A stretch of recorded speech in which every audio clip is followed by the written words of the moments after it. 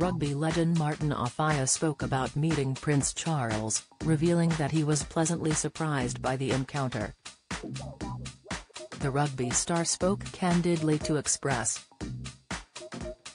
Co.uk on the red carpet for Nordoff Robbins Legends of Rugby dinner last month. Martin, 56, was awarded an MBE for his services to rugby in 1997 at Buckingham Palace. The sports star recalled, It was actually Prince Charles who presented me with my MBE back in 1997, which seems like a lifetime ago. 1994 was my best year of course and I still have my statue outside of Wembley. During his rugby league career, Martin scored over 500 tries, which makes him the third highest try scorer of all time worldwide, and the highest scorer in the UK. The athlete left behind such a legacy that he even has his own statue, alongside four other great rugby players, which stands outside Wembley Stadium. The star went on to describe the Duke of Wales, 73, as being fantastic when they first met. He was fantastic, Martin gushed as he repeated the sentiment once more. He talked about the fact that he had played rugby at school and he played second row, which I didn't know. So yeah, it was a nice little chat.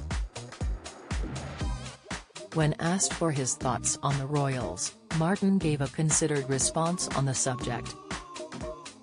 You know, I think your history is your history regardless of whether you think it's good or bad, he said. Similar to our own history, you have to understand it, and the royal family is part of British history.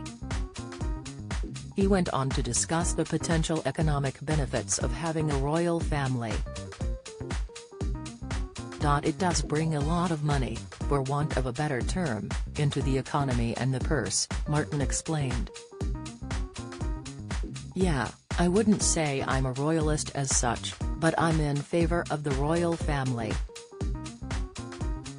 I think they're a good thing for this country. That's something that should be kept. Ahead of being honoured along with legendary England captain Jason Robinson last Wednesday night, Martin reflected on his proudest sporting achievement. My proudest moment is probably going to be scoring for Wigan, he said. Jason and I are here being honoured tonight. The Wigan club are here tonight and it's their 150th anniversary. And obviously me scoring in that game with Jason in 1994 at Wembley is what I'm going to be remembered for when I'm no longer here. Martin was inducted into the Rugby League Hall of Fame in 2013 after an incredibly successful career in the sport, playing for English league clubs like Wigan, London Broncos, Widnes, and Salford City Reds, while in Australia he also played for Sydney's eastern suburbs and St. George clubs. Martin attended the Nordoff Robbins Legends of Rugby dinner at the Grosvenor Hotel, London last month.